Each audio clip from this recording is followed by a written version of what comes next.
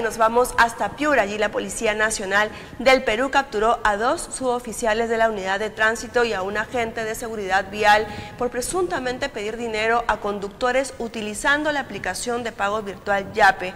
Los detenidos serían acusados por el delito contra la administración pública en la modalidad de cohecho pasivo propio como solicitantes. En la intersección de la avenida Cáceres e Irasola en Piura se intervino y procedió a la detención del suboficial de tercera PNP, Marco Barcelata Villegas, de 23 años, quien presta servicios en la unidad de tránsito y seguridad vial de Piura. El agente fue acusado de pedir dinero a los conductores usando la aplicación YAPE, con el fin de no imponerles multas y no internar sus vehículos en el depósito.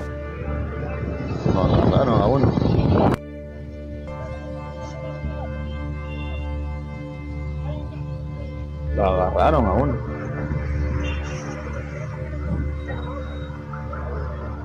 Fue el primero.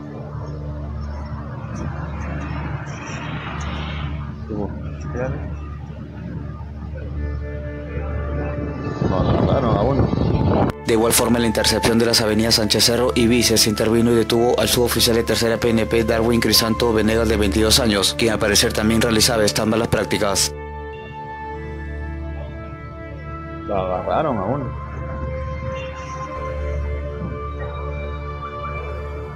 Fue el primero.